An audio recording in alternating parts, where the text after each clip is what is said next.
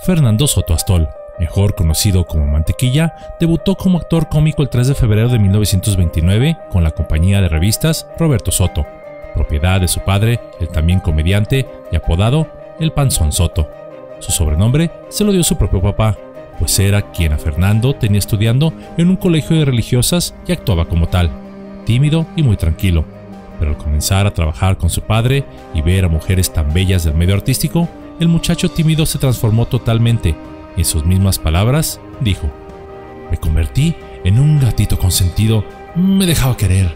Y mi papá me dijo, tú no eres de carne y hueso, tú eres de mantequilla, te resbalas con todo el mundo.